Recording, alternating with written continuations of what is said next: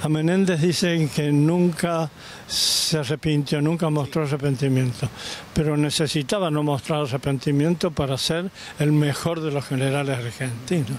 Y entonces a eso llegó de esa manera y con esa crueldad.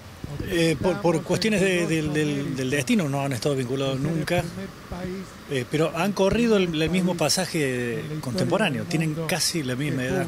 ¿Qué es lo que te queda de, este Menéndez?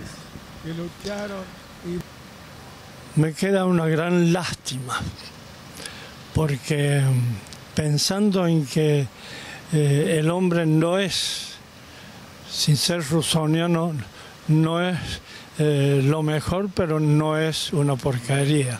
Yo creo que todos nosotros tenemos un poco de grandeza, eh, el espíritu del creador y de la creación, eh, que para llegar a ser a, una degeneración de todo lo que es elemental en la relación, no solamente para bien de los otros, sino para felicidad de uno, tiene que haber una especie de empecinamiento, de obsesión, de enfermedad.